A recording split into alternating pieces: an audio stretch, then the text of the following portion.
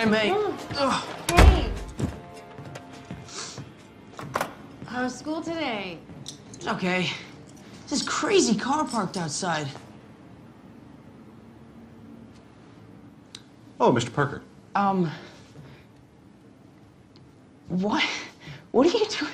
Hey, um, I'm I'm I'm Peter. Tony. What, what are you What are you What are you doing here? It's about time we met. You've been getting my emails, right? Yeah. Right? Yeah. Uh, regarding the You didn't even tell me about the grant.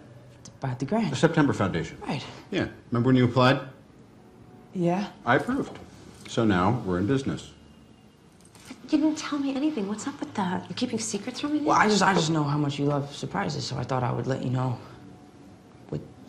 Anyway, what did I apply for? That's what I'm here to hash out. Okay. Hash hash it out. Okay. It's so hard for me to believe that she's someone's aunt. Yeah, well, we come in all shapes and sizes, you know. This walnut date loaf is Let me exceptional. just stop you there. Yeah.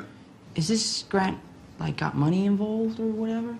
No. Yeah, it's, Yeah? it's pretty well funded. Wow. Look who you're talking to. Can I have five minutes with him?